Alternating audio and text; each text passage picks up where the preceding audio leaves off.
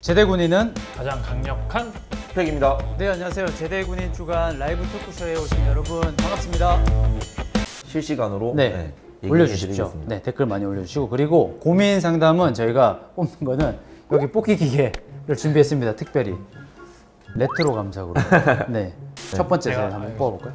막내인 제가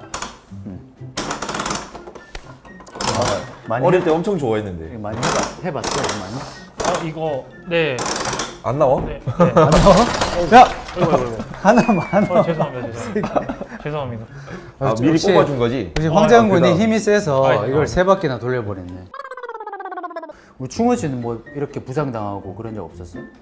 저는 안 다칠 것 네, 같아요. 저는 다행히 운이 좋아서 네 아무튼 네 운이 좋은 게 아니라 워낙 건강해서 네, 건강해서. 안 다치고 그 이게 이런 것들이 부셔지고 맞아 아, 맞아.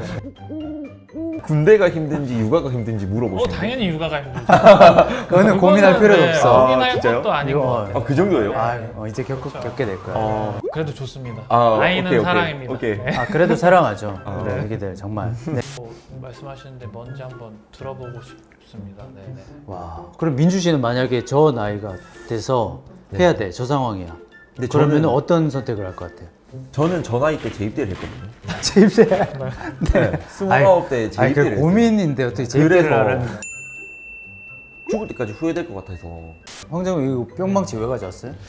아니 뭐, 뭐 망치 자꾸 망치랑 네, 연결을 시켜주셔가지고 이거 왜 있는지 아, 모르겠어요. 황망치 네, 황망치 황망치 황망치 아 해주셔서 나는 우리 이거 있어서 우리 세 명 게임 줄 알아 아. 네, 저도 저도. 가위바위보 게임 해가지고 그래서 도망갈라 했어요 저는. 그러니까 어, 네. 나도 이거 이거 맞으면 죽을 것 같아가지고. 불만 시켜 어. 다 같이 인사하고 마칠까요? 어, 네 알겠습니다. 네. 자, 여러분의 빛나는 미래를 응원합니다. 네. 제대군에는 제대군에는 가장 강력한 스펙입니다.